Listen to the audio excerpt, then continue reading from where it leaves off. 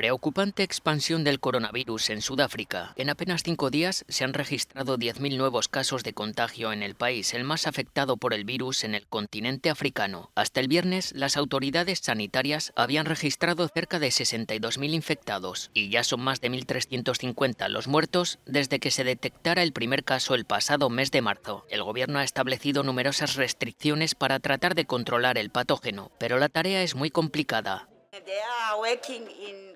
Algunos ciudadanos trabajan en Ciudad del Cabo, otros trabajan en Gauteng. Todos se mueven. Estas personas realizan desplazamientos entre un lugar y otro y luego regresan a las zonas de las cuales proceden. De esta manera se producen contagios cruzados como el que ha tenido lugar en nuestra área. Por eso no hemos sido capaces de controlar la situación. Sudáfrica representa casi uno de cada cuatro de los casos de contagio que se registran en el continente africano según los datos que maneja la Organización Mundial de la Salud, OMS. La mayoría de las infecciones del país, alrededor de dos tercios, se encuentran en la provincia de Cabo Occidental, un popular destino turístico que alberga la ciudad costera de Ciudad del Cabo. La OMS ha alertado del rápido avance de la pandemia en África. En 10 países las cifras han aumentado de forma alarmante en los últimos días.